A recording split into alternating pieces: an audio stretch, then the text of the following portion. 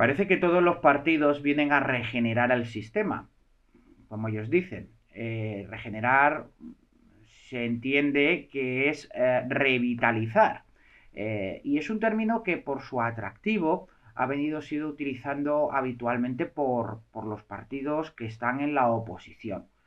cuando todos sabemos que no se puede regenerar nada en España cuando está todo por generar, hablando en términos políticos y sobre todo a la relación entre gobernantes y gobernados, que es a lo que me refiero y lo que importa, es decir, en lo político. La democracia no se puede regenerar en España porque está todavía por generar. Eh, y solo se puede generar por la ruptura, porque el propio sistema eh, que establece constitucional la constitución del año 1978 impide cualquier tipo de regeneracionismo. En Estados Unidos, por ejemplo, en un momento dado se podría regenerar la democracia si ésta degenerara, en tanto que existen las bases constitucionales precisas y que lo permitan. Sin embargo, en España es imposible. Nada se puede regenerar porque en cuanto al poder legislativo,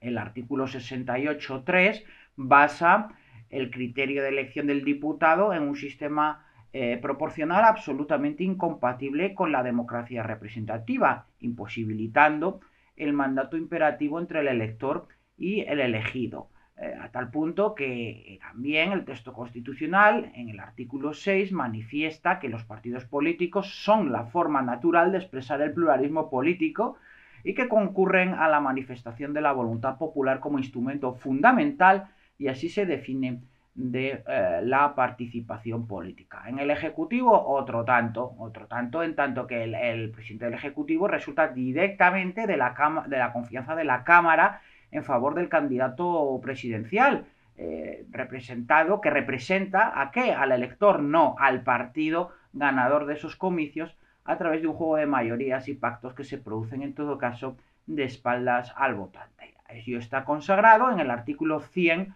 de la propia Constitución eh, que, y el, perdón, el 99 eh, que regula el mecanismo de elección del presidente del gobierno, siendo este luego conforme al 100 el que ahora sí elige al resto de su gabinete. Y en cuanto al mal llamado Poder Judicial, ¿qué decir? Cuando a partir del artículo 117.1 de la Constitución española se habla del Poder Judicial, pero para referirse a la independencia personal de jueces y magistrados, pero no a la independencia eh, funcional y orgánica eh, del mismo, del que no se dice ni una sola palabra en todo ese capítulo referido al Poder Judicial. Y después de este, de este avance, porque vemos que no es posible el regeneracionismo que invoca tantas veces de manera atractiva para eh, la clientela política los partidos de la oposición, ahora hemos tenido un nuevo salto, un nuevo expediente,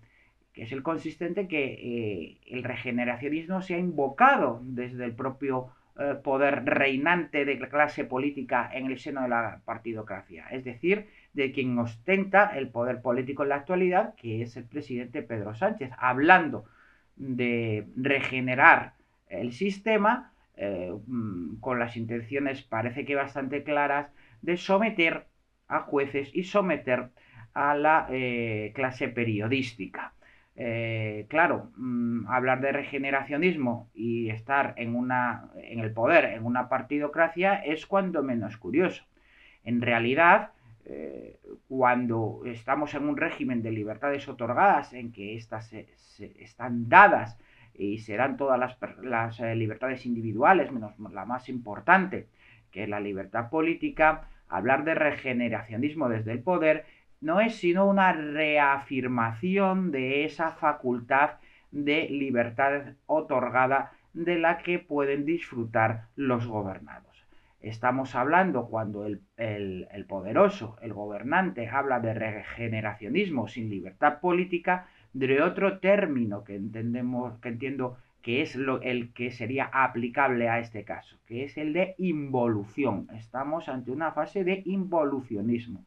no de un retroceso en la, en la democracia, porque esta no ha existido. De la misma manera que no se puede regenerar democracia en, una democracia en España, no se puede eh, mm, eh, volver atrás o dar pasos atrás en una democracia inexistente, sino que lo que hay, lo que amenaza con suceder, Lo que, de lo que está hablando eh, Sánchez en realidad es de una involución del régimen, es decir, a volver a sus principios iniciales y fundamentales, eh, no despegados del régimen del 18 de julio en ese eh, proceso constante de transición inacabada, de transacción entre los que estaban en el régimen de Franco y querían entrar y querían permanecer y los que estaban fuera y querían entrar. Estamos hablando en consecuencia de un involucionismo, de una vuelta al origen del fundamento real de libertades otorgadas en que se sustenta esta oligarquía de partidos. Por tanto, el regeneracionismo es igualmente falso, sin cambiar las reglas de juego, sin establecer una verdadera eh, constitución eh, que separe los poderes en origen y recoja la independencia judicial, cuando se emplea esta palabra desde la, la oposición para intentar hablar realmente de una ampliación de libertades otorgadas, que es lo que realmente están diciendo, pero sin generar democracia previamente, como cuando se emplea ese término regeneracionismo desde el propio poder. En este último caso, atención por lo que estamos hablando es de un verdadero involucionismo.